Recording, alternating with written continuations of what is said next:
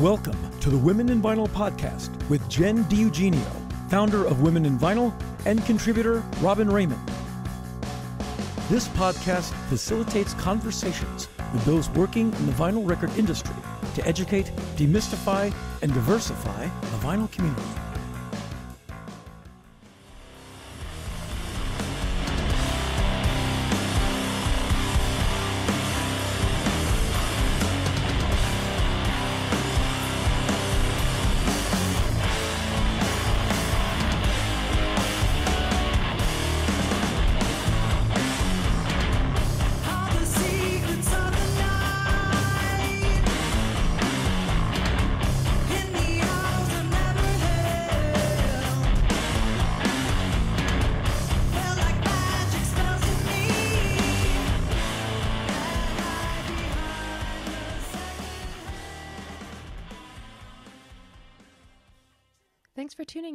Episode 29 of the Women in Vinyl podcast.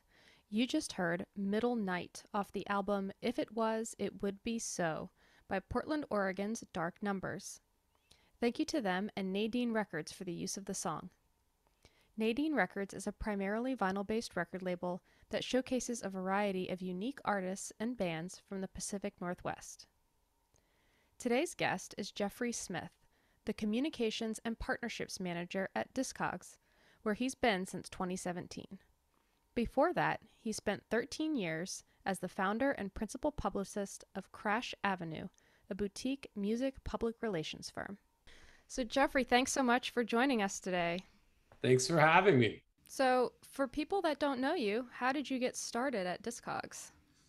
Um, I had a small indie PR firm and Discogs had approached me around their 15th anniversary to do some PR around that anniversary, and then just kind of kept continuing to come back and hire us out to do other work. And it turned into me getting approached by the then COO saying, Hey, what would it look like to come work for us? And, you know, the rest is history. So, and you were a record collector originally, right? Before you started at Discogs? Yeah, yeah. So that that indie firm, you know, we were primarily doing independent music. We it also worked for the majors on a variety of campaigns as well. And you know, records have always kind of been a part of my life because of that. Um, you know, I, I feel like it's a recent thing around records where it's, but you know, really it's been probably the better part of the last 15 years yeah. I've been you know collecting records at this point um, being a um, you know a a 80s child it was more i started out in cassettes and then made my way to cds so i i was right at the end of the first vinyl phase right? Um, yeah. so i didn't really get into records or you know was just too young i guess at that point. Um, but found my way back to them. Yeah that's the important part. Yeah.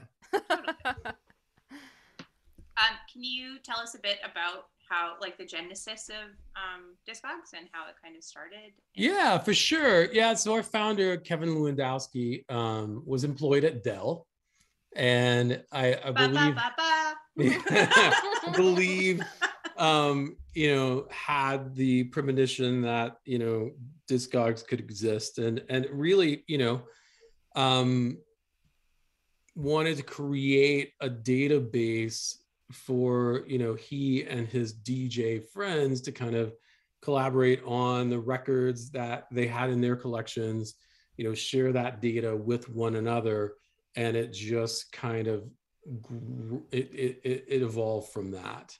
And you know, I think if you were to ask him, um, he would have never imagined that it would have grown to be what it is today right yeah. because it, it, it was born out of the spirit of sharing that data with his friends and you know everyone kind of having a sense of what each other had and and you know i think just that he and that community just blew it up yeah I appreciate someone that is sharing a catalog with friends. Organization I, I, after like, my own I, heart. I envision like an old school catalog system where it's like, all right, Dewey mm. Decimal, let's go. Like Yeah. I, like a little a, a little library moment. But we yeah, yeah, and and and knowing him, you know, he's way into the data and and and preserving that data, and it's you know it's a mission of of his for the company is to, you know, have the world's largest database of of physical or recorded music, and um, you know, gosh, we just crossed that 15 million releases in the database um, just a couple of weeks ago. Yeah, I mean, you guys just, don't have any competitors, right? Yeah. Um, not in that, not in that sense, right? Yeah. I mean, there's, you know, there's other uh, chunks of music data out there, but as far as like physical catalogs, no. Yeah. And and within our users' collections, we're getting really close to there being 600 million items in our users' collections. Well, that's just you know that number is starting to feel like unreal. Yeah. You know, especially when you look at your own collection, it's like oh, I've got 1500 records and how small of a part of that 600 million it is. Um, you know, it's, it's, it's pretty amazing. Wow. I had no idea it was that big. That's wild. Yeah. And, and you know what? It's funny. It's like not a lot of people think of us as being that large of a site you know we're we're a top 500 website in the world not just music websites like all websites, right? Wow. Um, the amount of traffic that's coming in, um, you know, the transactions that occur in the marketplace, just that overall volume.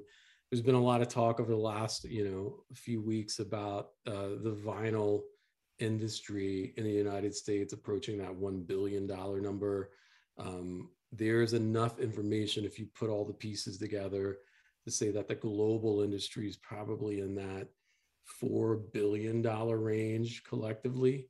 And what's not being factored in there is, you know, all the stuff that happens on the secondhand market. If you compared or if you added in the numbers uh, from Discogs and, you know, the other e-com platforms that that that um, support secondhand music, I would dare say that number starts to, you know, double. Yeah.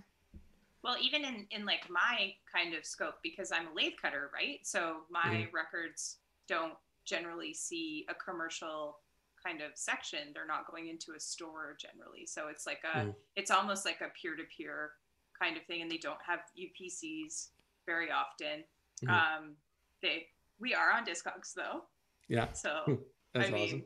yeah, it's awesome. I mean, and it re- really like makes independent musicians that are self-funded that don't have labels feel legitimate too because they're participating in the marketplace and they have a super limited option where they're like there was only 15 of these made look mm. out so yeah it's like a wikipedia like check mark for a musician yeah, i would say totally it, it gives you like a global presence a global legitimacy because yeah. people from anywhere can be like oh yeah i got that record Boop, boop. Yeah, and that's those are the types of records that really drive discogs. You know, it's um it was funny. I was just checking the trending releases and and the number one trending record on the site today is a Zeppelin tribute record. That was like incredibly limited in its release, but because you know i tell people sometimes that's kind of the drug we deal is rarity totally. right mm-hmm. that's the thing that that kind of drives everyone because of that frenzy to get that limited release, it immediately kind of shoves this artist up to um, you know the top of the trending releases, at least for today. Otherwise, may not have been known outside of you know those collectors that just kind of keep their eye on those sorts of things. Yeah.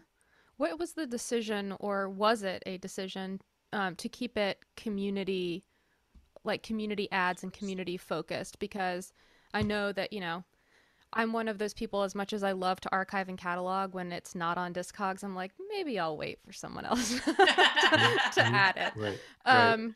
but you know, with that comes sometimes misinformation and you and from the edition perspective, but then mm-hmm. also the price perspective can vary quite a bit. Was mm-hmm. that a conscious decision to keep Discogs community driven?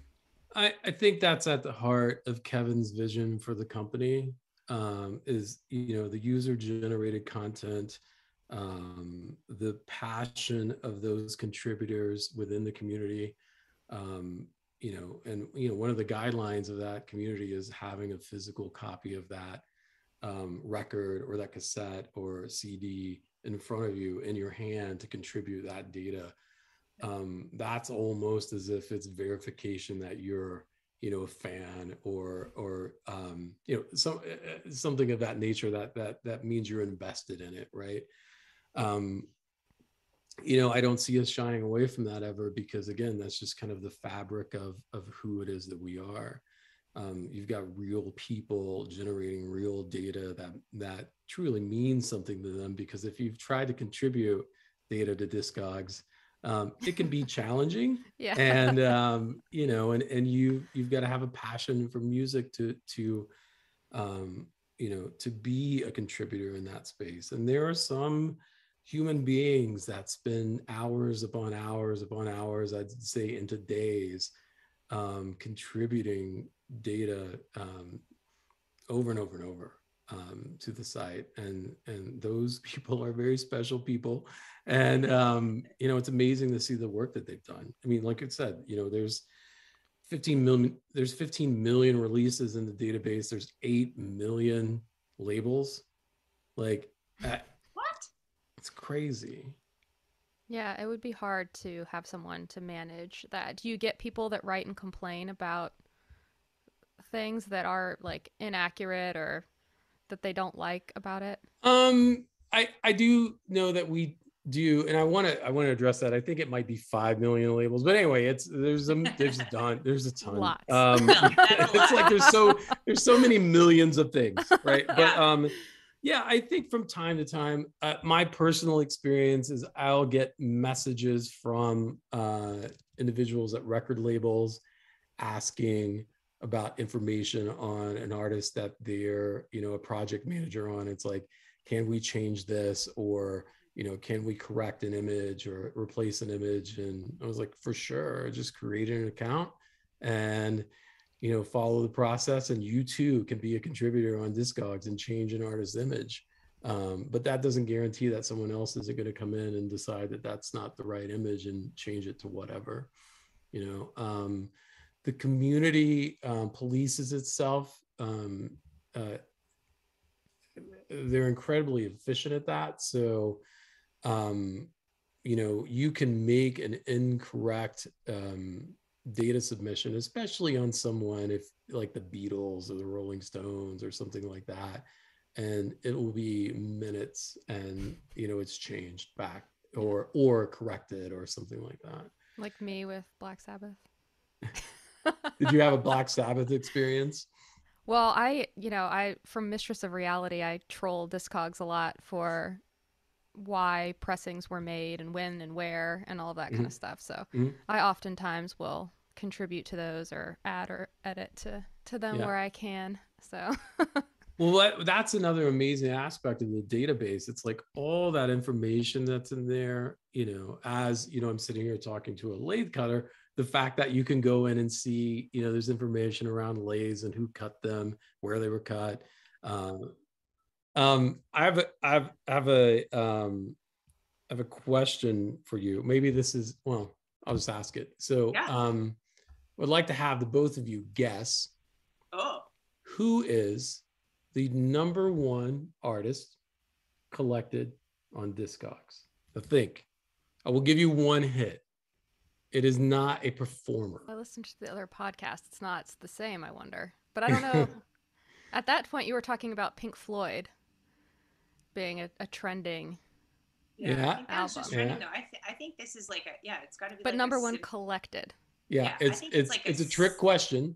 It's a record that everybody has. No, num artist, not a record. Oh, hmm. okay. Yeah. Okay, because I'm jumping because I don't want a lot of dead airtime. Yeah, yeah. No, Ray's really good at I'm making like, us look way smarter. Don't worry. Yeah, yeah. I'm like, so, I don't know. We press a lot of rumors. yeah. Oh well, yeah, yeah. yeah so it's art, it's it's like... Bob Ludwig. Uh huh. Okay. Uh huh. All right. So he is because he's he's what mastered everything um because he's a he's credited on all the things that he has mastered as well, right? It's like he he is he has touched more records, so he is he is undoubtedly more in your collection than any individual artist, right? Interesting. Throw it up for the mastering engineers out there, everybody. Bob Ludwig is a genius. Uh, yeah, that's yeah. crazy. Because my cataloging brain goes very like, I don't know. It so like for me, like that wouldn't count. yeah, catalog, that, you know. yeah, but that is the challenge of of like you know our the efficiency of the database where it's like, look, there's a release there's a master release, there's an artist, and there's a label. That's the four lines of delineation in the data. Yeah. So you wouldn't consider Bob, and well, he is an artist, right? True. Yeah. In, yeah. in, in the truest oh, sense, oh, right? Yeah. Um, but what the average person would think as the artist, they think, well, it's got to be the Beatles or Pink Floyd exactly. or something like that, right? Yeah. Um, yeah. So that's why you have that massive number in the database, is because you know everyone everyone is an artist in our ecosystem, right? So, um, but yeah, Bob's up there, and I do believe, um, you know, maybe there's another two or three other, but kind of behind the scenes individuals. Bob just kind of sticks out in my head. Um, yeah, that's a cool fact. Before, though. before like, um, before like I think Lennon McCartney or something like that is like the first. Yeah. yeah. Yeah. Yeah. How did the grading system come to be? Who set that and how was it contributed to? Was that a community thing as well? Um, you know, I don't know the exact um, point of it being and why it's being. I mean, grading is a pretty much a standard situation within, you know, the vinyl world or, or just physical music. Um, it is community driven in the sense that um, you know the records that you have and especially in order to sell them so I, I and if i put those pieces together it's got to be in that round that 2004 2005 ranges when that had to come to be because of the selling side of the marketplace side of discogs um, but in order to assess value to the record you've got to be able to grade it yeah you know and grading such a hot topic it's like you know there's some people that think um, you know, the moment you crack the seal of the cellophane around the record, it is no longer mint. Right. So um, I'm actually one of those. I feel like if if you've opened it, it's no longer it's near mint. near mint, mint minus. Yep. Yeah, you know. So, and I don't know if mint minus is the thing, but it's on um, there. you know, it's, it's funny. True. We got an interesting conversation where um, uh, I forget who it was that brought it up, but it's like we should be able to add additional pluses and minuses, and I'm like, I don't know if I can live in a world where VG plus plus plus exists. It's like, does that extra plus get you another like 75 cents on the price tag? Is that why you want it in place? Um, I would I wish there was just like an option to just like filter out everybody that has like sealed. Cause I'm just like, no, just get them out of my face. I don't care. I like keep your sealed records to yourselves. Uh, I, I am I, I I'd upvote that where it's like I, I feel like if you could search for basically what a new it's a new record at that point. So uh-huh. even if it's an exactly. old pressing and it's sealed, I'd consider that new. Yeah, I mean, the reason I ask is because I think a lot of people, from record store owners to just individuals, really like that is the Bible for yeah. how to grade a record. And so I think yeah. it's really interesting. I mean, I know that, you know, because Discogs took down the ability to buy and sell um, unofficials, which I think was yep. a good move, but it's also frustrating for me. Mm-hmm. Um, but the um, the great. But that doesn't mean that you. I don't support yeah, you can you still can't put, put them there. in the database. No, no, that's true. Yeah, you can, and I do. yeah, okay. I do. Um, no, and I think it's a great move because of modern day bootlegging, hundred yeah. percent. Um, yeah. The stuff I'm looking for, just for listeners, is not new. it's no. very old, but um, 60s, 70s era.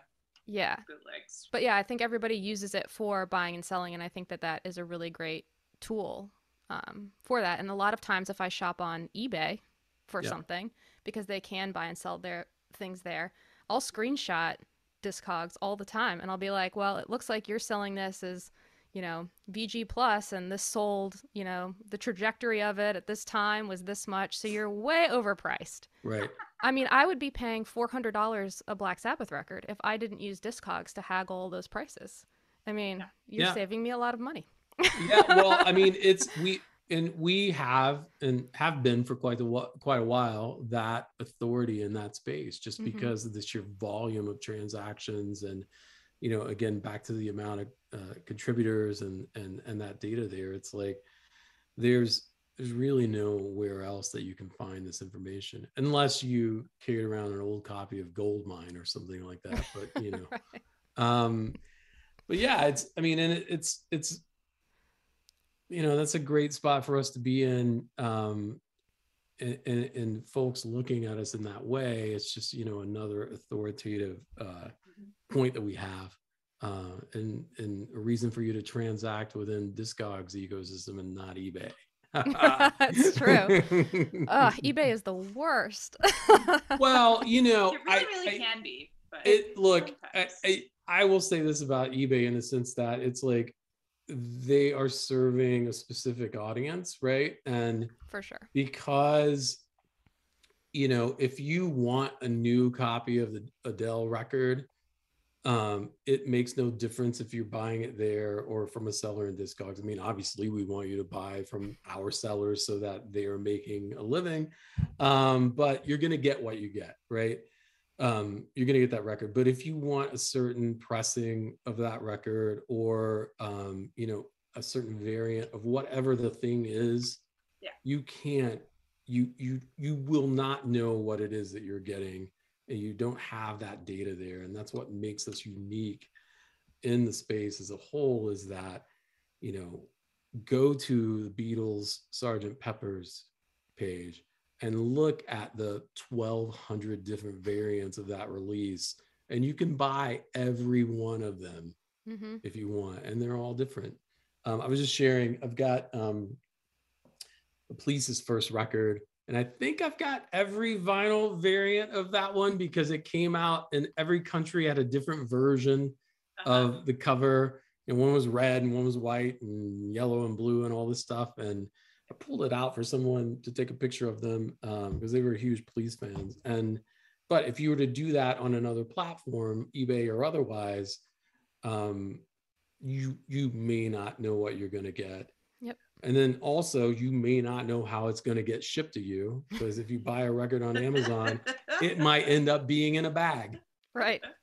which or someone just slaps the label on it. I saw that too. Oh, I saw that. That was hilarious. But the fact that there's some human putting a record in a bag in a Right. to be shipped is like, you know, and it's there. there someone needs to start an Instagram just with just poorly Poor, shipped. poorly shipped records. Totally. Yeah.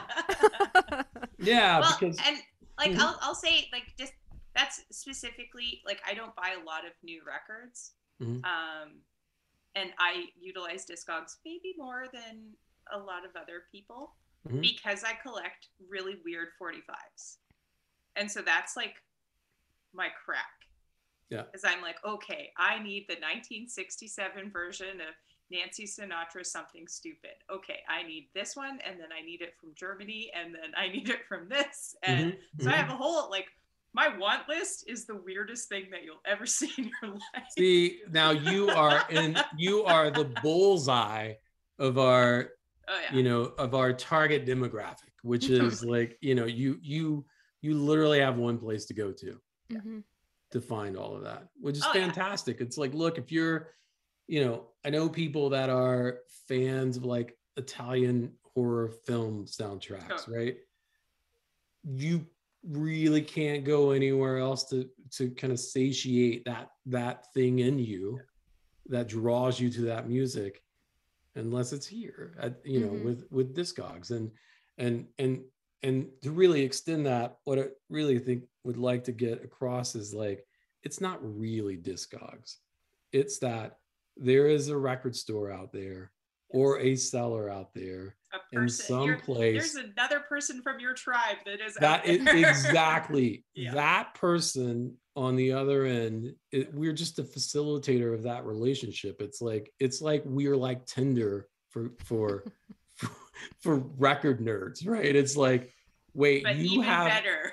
you have all the records that that I want, and you know, take all my money and yes. send them to me. And it always ends in a good first date. I was gonna say, yeah, there's no expectation. It's just transactional. You you set out the expectation that this is what I uh, want. Okay, yeah. here, great, perfect. Yeah. yeah.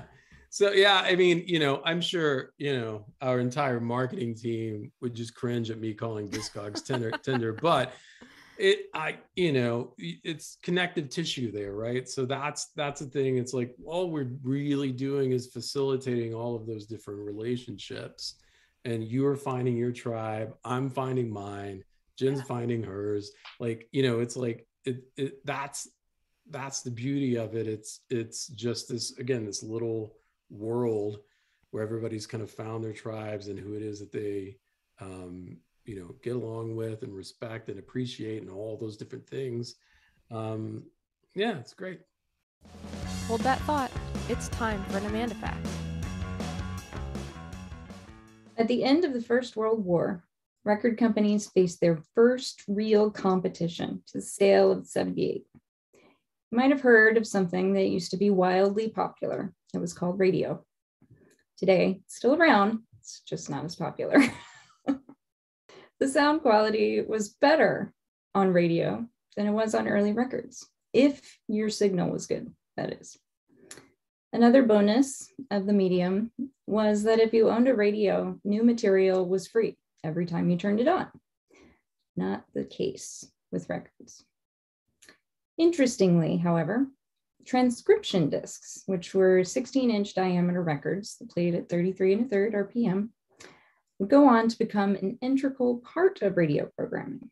Some might even say that the transcription disc saved the record manufacturing industry from obscurity till after the Second World War. These discs were able to hold about 15 minutes worth of sound on each side. And yes, if you are paying attention, that is a much larger disc with less playback time per side than what we are now accustomed to. Today's 12 inch 33 record holds about 20 minutes aside, give or take. Interestingly, it was their high quality sound and the flexibility that they offered for radio stations to play programs produced in other cities that solidified their value.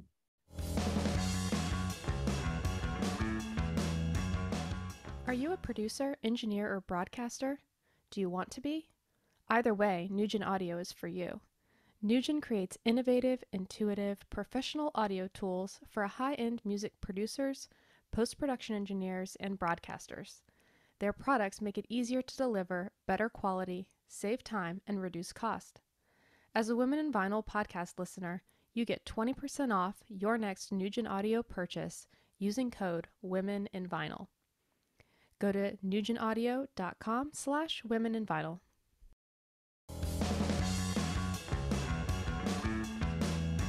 And now, back to the episode. Have you seen any changes in the last couple of years with the pandemic and how and how sales and just data looked on Discogs? Yeah. Um the you know the personal story of this is pandemic hits and and and I, I hate that I, I would say this, but it's like I called it like a couple of weeks beforehand. I was like, this is not gonna be good. And everybody was like, no, it's gonna last a couple weeks. And it's like, I don't know. Um, but then when everybody kind of locked down, you know, the the week that that happened, I was personally like, oh no, is this like this is this it? You know, mm-hmm. will we be able and, and I think everybody thought that across the board in every industry. But then the next week, it was like, holy, you know, expletive it was amazing. It's just like I think everyone mm-hmm. that had that connection to music just turned around and looked at their records and went, I gotta, I gotta put all this, I gotta add my collection, or I gotta I start adding my want list, or I gotta, or I'm gonna go down my 45 fetish list and start finding all those records and buying them. And and that happened for the better part of you know a year and a half you know it's like where it was just this massive spike you know, and ecom as a whole saw that spike as well. But what we've been able to do, and and we by you know that collective community of of everyone that that interacts on Discogs is sustain that. Where, you know, I think there were a lot of people that that just reconnected and and kept going right mm-hmm. and and so now it's like um you know to transition into you know I, I, we've always heard people talking about like the revival or the renaissance.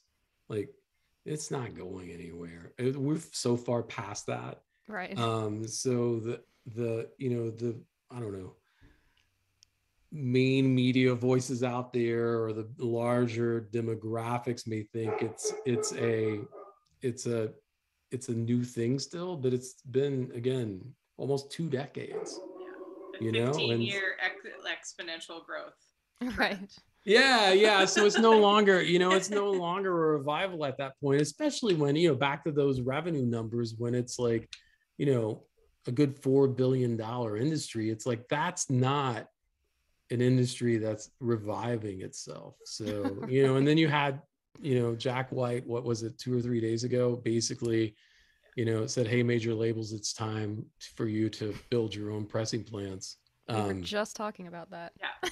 I, I, I absolutely love the execution of that from just the entire, the entire 60 second video is kind of special. Um, I love um, how demanding he was of it as a right. pressing plant owner, but it will never happen. Yeah. I love how it was like again at the end. yeah. yeah.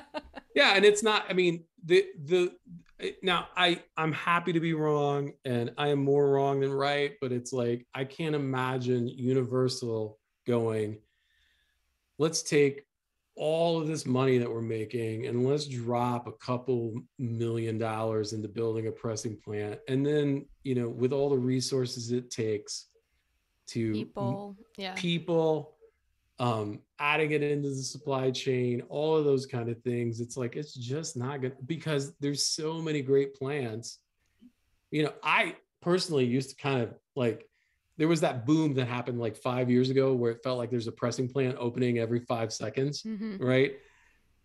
And thought, wow, there's going to be some of these not make it. And now I'm yeah. like, we could have done with twice as many now, right? right? It's like who I, you know, it's it's it with like furnace, right? I, I like when furnace opened, I was like, just like, wow, like what an amazing facility. Fingers crossed they make it, but it, it's just like, yeah. Now wow. we're booked for the year. Yeah. So and most yeah. and no, and most most plants are just like we're not taking new orders until next year. Yep. Yeah. Yeah. It's and it's crazy. March. Yeah. Yeah. Yeah. Yeah. But I mean it's not it's not their fault. It's a supply and demand thing, right? There's only so many and yeah, you know, and and and it's a skilled field of work, right? You you know, I can't go open a pressing plant. I can't all of a sudden be a lathe cutter. I all, you know, I can't do all of these things without years of knowledge and training around that thing. You know, I could, yeah. I could probably become a dentist quicker than I could, I could you know, do do one of those things and do it in the right way. Um, you know, it's like I always, um, you guys familiar with Chad Kassem from Analogue Productions mm, and. Mm-hmm well, out in Salina, Kansas. It's yeah. like one of my favorite things in the world is to listen to that guy talk about the the the um mastery that it takes to create a record not only just the pressing of it but just the process from the analog tapes to the finished product and and the story that that dude tells you're just like it's like this romanticized mm-hmm. version mm-hmm. of this you know this thing that we all kind of you know we all have records and we all feel them and touch them and all that stuff but it's like somehow he makes it like it's the you know it's a special beautiful thing that only a handful of people can achieve by making yeah. the perfect record and then he yeah. sells you a $200 version of a record that you already have.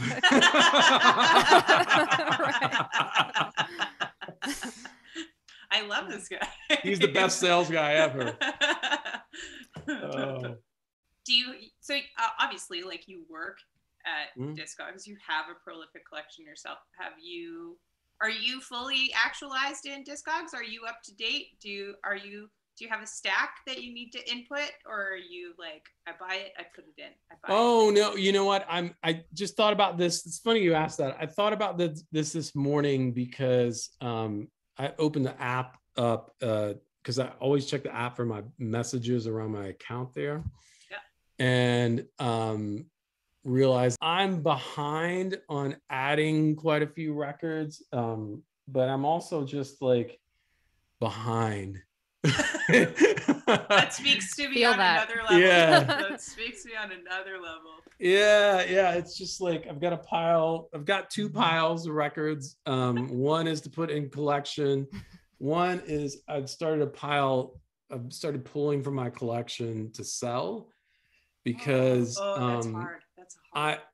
I I'm starting to feel that sense of like, do I have records that that I, feel like I just need records that mean something to me hmm and I know that I have some that I've gotten over the years that it's just like if I haven't played it in a couple of years, because really when you get a lot, it's hard to play them all at the time. Yeah. But um, you know, when you get to that point where like maybe something doesn't mean something, I feel like it might mean something to someone else and they Mhm. might Oh, need it. that's nice. That's You a, know? I mean, that's a beautiful sentiment.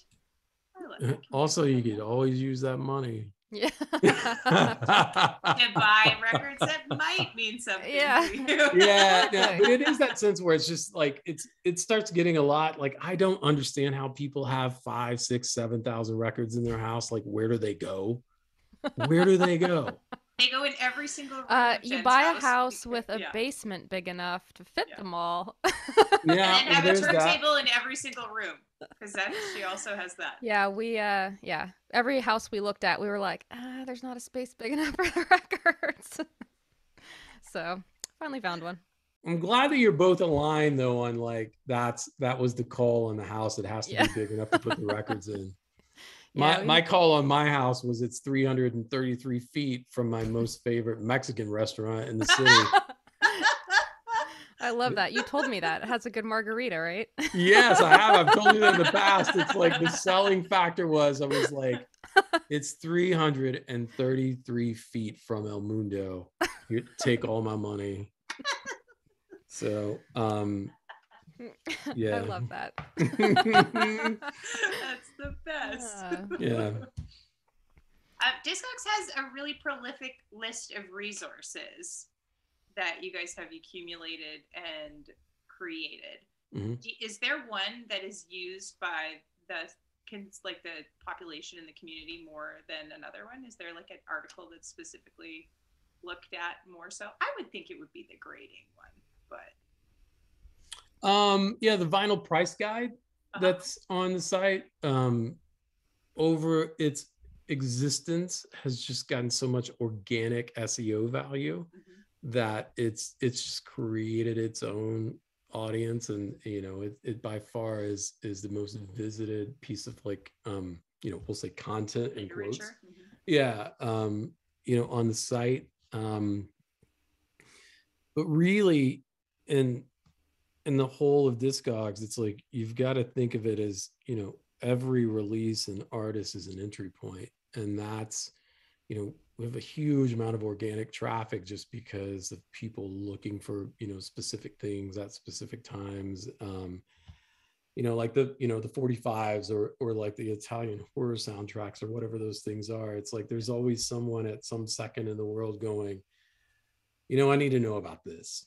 And and because of us being around for 20 plus years um, and again all of that seo value and the way google works and all of that magic on the internets um, you know it's just we're just constantly you know there's not one thing that is you know the main attractor of audience into the site as a whole.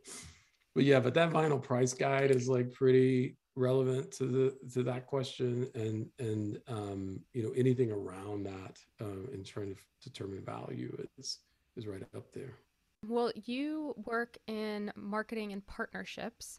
Mm-hmm. So before we ask one of our last questions, is there mm-hmm. anything that you can share that you're excited about coming up, uh, or that you're you're doing that you want to get word out about? Yeah, this is the hype portion of our show. The hype portion, per, yeah, yeah. You know what? Um, yeah, I do. It's, you know, um, speaking of content, it's always been difficult for our audience to find, you know, more of the editorial side of what it is that we do. Um, you know, we we have had this thing called the Discogs blog that's had a lot of great information, a lot of great stories in it. Um, yeah. um, it's just a treasure trove of of just content. And and really the only way to get there is if you figured it out through the navigation bar or you know follow us on social media.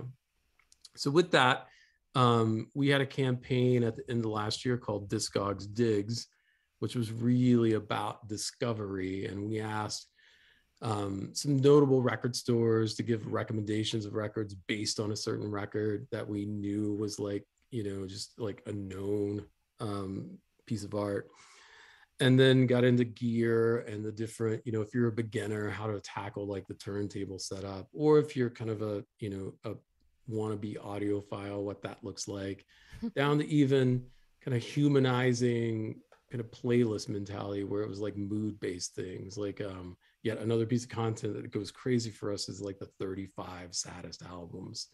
Um everyone's sad. Everyone loves that thing. It it's it's yes, like the it's the gift that keeps on giving right? So updating all of those moods and and a thing that we learned from that and and heavily promoting it is that there was this hunger in a lot of our audience to, to get these humanized recommendations. I i think what we're going to see on the other side of the spotify algorithms generating these playlists for you is that yes, it's very good at what it does. But um, what else is special about music is, you know, again, I can walk into Guestroom Records, which is like three or four blocks away from my house as well. Yet another reason why I picked this house. Shout Very out close to the record yeah. Shout out to Lisa, friend of the podcast. Well, Got so it. Lisa, I yeah. literally will walk in and say, Lisa, what am I buying today? Yes. She's and I'll go in for what I want, but I typically leave with a record that Lisa has told me to buy, and I buy completely blind because she's known me. Travis and Lisa have both known me long enough to know what it is that I like. That's and awesome. then I listen both have impeccable taste too, so you can't. They they're not going to steer you wrong. Oh, I those two are two yeah. especially magical human beings, and I totally. love them, and they're great people. Uh, and and you know, as a resource, they're just you know they're just they're they're incredibly deep. Um, mm-hmm. I, I, love both of those people. Um, but again, I'll leave with always leave with a record. Um, that I had not intended to buy, and I will listen to it. And it's just like, no, I get it. I will never not do that. So, with that at the heart of it, it's like back to that humanizing recommendations. You know, we're learning that, excuse me, a lot of people are coming to Discogs for that discovery side of things, right? And and they've been taking the very long way through data and through release pages and and clicking YouTube videos within those release pages to kind of discover all of those things. So we're taking that Digs campaign and really expanding it into like a platform and and and it will encompass that, right? That'll be the place where you can go for music discovery. It'll be something that's ongoing. It will not just be a singular campaign it's just going to be that place. And so our hope is to integrate it more inside the platform, have it be um, more visible, and so that more people can find it and, and, and kind of deepen their connection to music through that way. That's awesome. Who came up with the Shake app where you shake your collection and a random record shows up? Oh my gosh. And people discover that in the most random of ways. that person right? needs um, a high five, like so good. Yeah, you know, I, I, and I told someone else. I think it was in another podcast. I think where it was like my wife does that to pick out records at this point because there's just yeah. too many. Yeah. Um, and they're all crammed they're all crammed in so tight you can't even pull one out anymore right i don't know who to be honest with you started that because the apps were launched at like my arrival um i could find out for you but uh, yeah I just want to give, Give him a person high five. Yeah, high Yeah, five. give him a high and- five. And, like a, a like a women in vinyl like seal of approval. 'Cause Great job.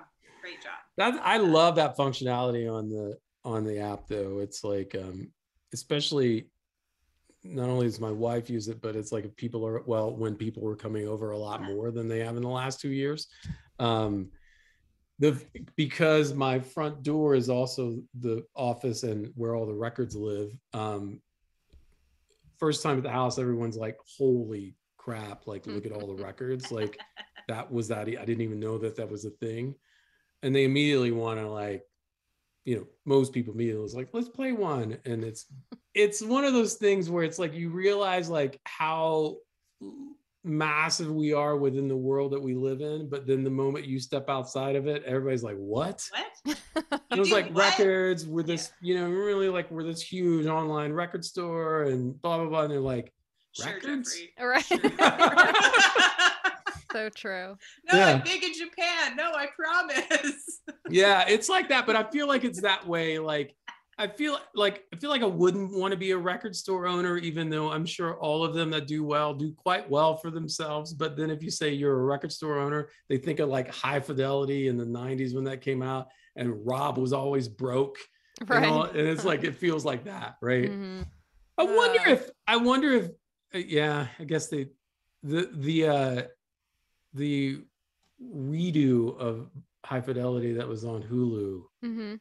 Is amazing if you haven't caught that. I was because I was getting ready to say I wonder if you could make that movie again. I don't think you could remake that movie kind of word for word and and action by action, but it's like I think what they really did a great job. They was- did. Yeah Yeah. it was like a much more realistic today version For sure. yeah And she was a great choice too, I Yeah. think. Yeah. I'm so sad that they didn't renew it i Yeah. so many characters on it it was so good because people that collect records are just way more interesting than the average person yeah. I mean, yeah. Look, this whole conversation is based on it. yeah but it, i mean it it feels true to me it's like um you know it's like if if you the more records that you have and the and the closer relationship you have with them i feel like you're just you have more to talk about Absolutely. With that said, we have the seven inch question. oh no Oh yeah. Especially being a prolific collector, this might be a little bit difficult. Mhm. Um, if you had the opportunity to make a custom seven inch record of your own choosing of any band from any era and any song on the A side and the like on the B side, any band, any song, any band, any song, split seven, what would you make? Kind of like a de- uh, the extension of the desert island thing, but you don't have to just take that. You can just make your favorite record. I I would want to have PJ Harvey's Rid of Me on side A, Oh, but I'd want like the uncompressed like the dynamics on that song are the thing that absolutely kill you. Um and then for the B side, I'd want um Okay, so the yeah, yeah, yeah. I'd want them to do a cover of PJ Harvey's Long Snake Moan. Oh, nice. I feel like Karen O is the only singer that matches PJ's like to be get down and be so soft and sweet and quiet and then destroy you the next second. And I feel like that band could, you know, I don't know. It's like if they if there was ever like a PJ tribute record, it's like just let the yeah yeah yeahs do all the songs. Like don't even mess with like getting anyone else. But it, I, you know, it if I'm asked like in the spur of the moment, like I feel like those two things I'd want to hear. Like I want to hear Karen O scream that like long snake moan line, but like have it feel like it means something completely different. You know? I love that. So nice. Well. This podcast is mint, sealed, signed, delivered. You can play it whenever you want, and it's not going to age.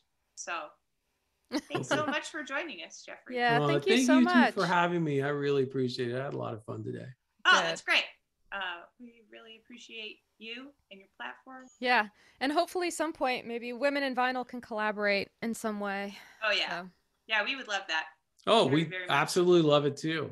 All right, cool. We'll have we'll a good release evening. you into the wild. Yes. The wilds of Kentucky. Yes. Thank you. Thanks, Jeffrey. All right. Have a good one. You too. Bye. Thanks for joining us on the Women in Vinyl podcast. You can join our ever growing list of sponsors, other record labels, Selector, Couple Design, Eargasm, Groove Washer, Glowtronics, Nugen Audio, and Vinyl Revolution Record Show. And thanks for sponsoring the show.